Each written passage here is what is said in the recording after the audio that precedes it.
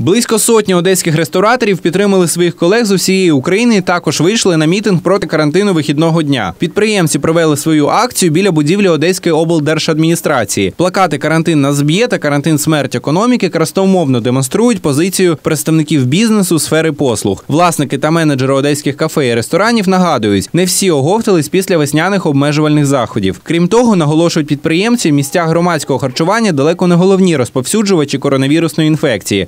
Ресторатори вимагають рівних умов для всіх. Мы считаем, что карантин выходного дня – это полумеры, которые не работают в сложившейся ситуации.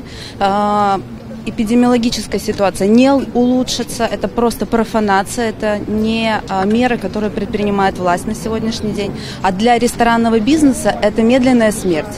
А, Потому что неограниченный промежуток времени работать только в будние дни для ресторанов неприемлемо.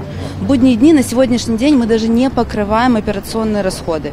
Вы все прекрасно знаете, что рестораны в первую очередь работают в выходные дни и генерируют доход в выходные дни.